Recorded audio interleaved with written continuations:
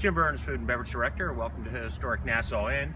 See behind me, you probably have seen these photos on our website and it looks like a quaint bed and breakfast, but it uh, truly isn't. If you haven't been here recently, you should see all the new upgrades to our 180 guest rooms and multimedia rooms and our large ballroom, one of the finest in the area, so I'd invite you to come in and take a tour. It's much bigger than it seems. We are the only hotel in downtown Princeton, and like I said, this is where technology meets history.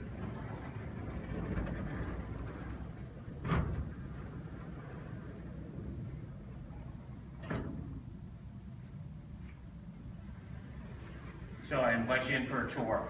Have a great afternoon.